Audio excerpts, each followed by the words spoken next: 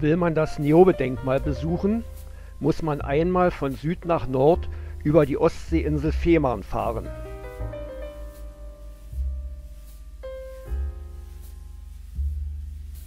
Das Denkmal erinnert an das 1913 gebaute und seit 1921 im Dienst der Reichsmarine fahrende Segelschulschiff Niobe.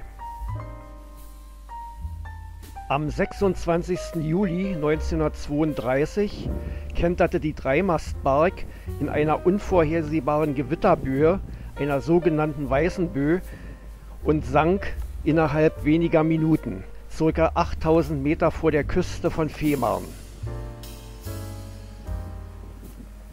Von den 109 Menschen an Bord fanden 69 den Tod, von denen 50 zum Teil erst nach der Bergung des Schiffes im August 1932 geborgen werden konnten.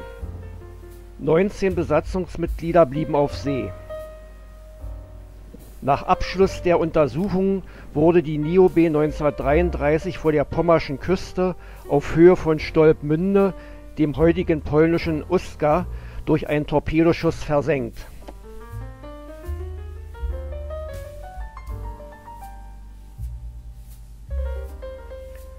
Das Niobe-Denkmal zur Erinnerung an das tragische Ereignis befindet sich am Strand von Gammendorf auf Höhe des Untergangsorts.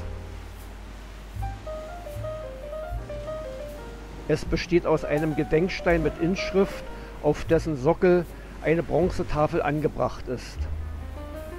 Deren Sinnspruch Es ist nicht nötig, dass ich lebe, wohl aber, dass ich meine Pflicht tue, ist heute mehr als umstritten.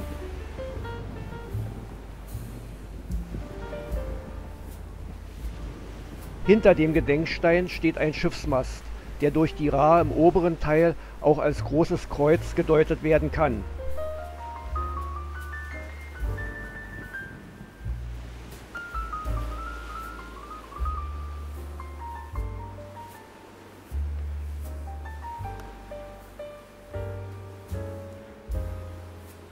Blick zum Fährhafen Puttgarden.